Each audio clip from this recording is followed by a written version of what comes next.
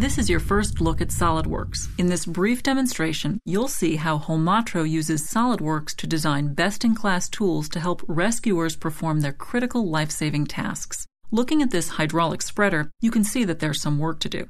We'll create a part, assemble several parts, and create some drawings. We'll start by designing a new rod end part to connect the piston rod to the spreader arms.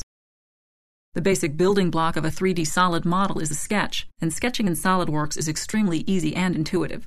Using a mouse gesture, I get access to my most commonly used commands. Draw a slot, add some dimensions to establish its size, and then drag the center of the slot onto the origin to locate it. Next, a rectangle is drawn using one of the many sketch tools, and then we will add a couple of circles to hold the link pins. The two circles should be the same size, so a quick window selection reveals a pop-up toolbar and an equal constraint is added to lock their size together. Notice that as I work, all of the commands and tools are right at my cursor.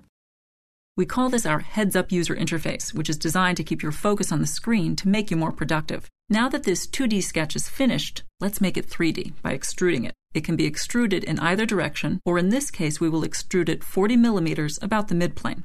To smooth some of the sharp corners, we can add some fillets.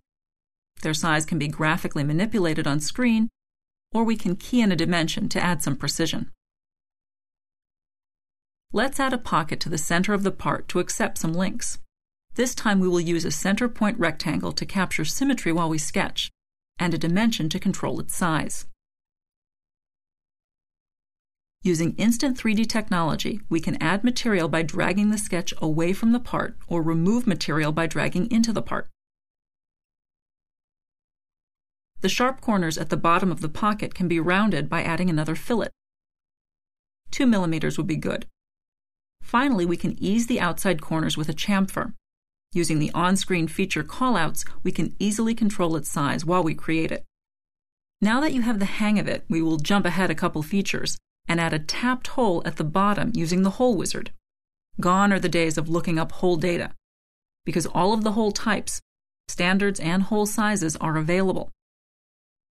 Choose the hole parameters, locate it, and SOLIDWORKS takes care of adding all of the proper information to define the hole. Let's leverage our previously created chamfer by dragging and dropping it onto the bottom edge to make a copy. The part looks good, but maybe a couple of changes would help to refine it. Changing the dimension value changes the geometry, and using instant 3D technology, dimensions can be dragged and we get real time feedback of our change. It's important that we fully describe our part beyond just the geometry. Properties such as part number or description can be added and leveraged later in the drawing title block and BOM. Materials can be applied from a list of favorites or from a broad database of materials. All visual and mechanical properties are applied. Notice that the weight of the part has been updated to reflect the new material. To document our design, let's create a drawing. SOLIDWORKS displays the default views of the part in the View palette. We simply drag a view onto the sheet, then we can create any desired project views, including an isometric. Hidden lines can be removed or views can be displayed as shaded. For this part, it would be desirable to create a detailed view of the area near the bottom for clarity. Adding dimensions is simple. All of the dimensions that were used to create the part are available to be placed on the drawing. Since symmetry was used during design, we can add a couple dimensions to locate the round boss at the bottom. The Rapid Dimension Manipulator appears to properly place and space the dimensions at even intervals. Selecting a dimension, we are presented with a dimension palette where we can add more definition to the dimension, such as tolerancing or formatting. These 20 millimeter holes will not accept the 22 millimeter pins that we will be using. No problem. Making this change right here on the drawing will update all of the views and change the part as well. Let's move on to do some assembly work, and with SOLIDWORKS, it couldn't be any easier. For our rod end, simply drag the round boss and drop it onto the cylinder rod. This adds a concentric assembly mate between the parts. To position it along the axis, we can drag the edge of the rod end to the end face of the cylinder rod to add a coincident mate. Next, we will add a link to stop it from rotating. To find this part, we will enter link in the search assistant. SOLIDWORKS not only returns components with link in their file name, but also digs down into the part properties to find the term. As before, we can drag this link from the search pane and drop it on a circular edge of the arm to locate it. Then using the same drag to mate technique, we can hook it to our rod end. From the same search pane, we can assemble the pin.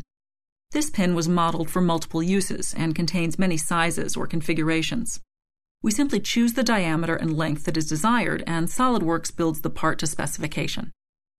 Most assemblies contain many hardware items like screws, nuts, washers, and the like. SOLIDWORKS provides a toolbox of such items containing thousands of parts with millions of configurations of those parts for your use. Notice that as we assemble the snap ring, it automatically sizes itself to the shaft to which it is placed. SOLIDWORKS allows us to copy parts along with their mates, which is a big time saver. Simply identify the hole and mating face for each hole where the pin is to be placed. As you can see, these pins are too long for the rod end. Remember, the pin was modeled in multiple sizes so we can easily change the length of just these two without having to reassemble. Interference detection is an important aspect of 3D design, and SOLIDWORKS takes it a step further with real time collision detection. Notice that as we move the arm through its range of motion, it interferes with the link. SOLIDWORKS provides both visual and audible feedback of the collision. A change is in order, and it can be done directly on the part right here in the assembly by changing the angle dimension defining the pocket on the arm. Now, as we recheck for collision, we can see that we have full range of motion with no interferences. Half of the spreader is complete, and we can save assembly time by mirroring the parts about the central plane to the opposite side. SOLIDWORKS allows us to verify and change position of each part, and even to create opposite hand versions of individual parts. In just two minutes, there were 19 parts added to this assembly, and our assembly task is complete. Let's turn on the parts that we have previously hidden and document this assembly. We'll wrap up the demonstration by creating an assembly drawing. As we did when creating the part drawing, we can drag the required views onto the sheet. To better describe this spreader, we will use an exploded view of the assembly. No assembly drawing is complete without a bill of material. SOLIDWORKS itemizes the parts, extracts information like description, and adds the appropriate quantities. No bill of material is complete without balloons, and they can be added automatically. To depict the motion of the spreader assembly on a 2D drawing, we can add an alternate position view to describe the assembly in both the open and closed positions. Add a couple of reference dimensions, and our assembly drawing is complete. We strive to deliver simple but effective tools to help you design better products faster. When you have an idea for a great product, SOLIDWORKS provides the tools to design it in less time and at lower cost. This has been your first look at SOLIDWORKS. To learn more, contact your local SOLIDWORKS reseller or explore our website for more information.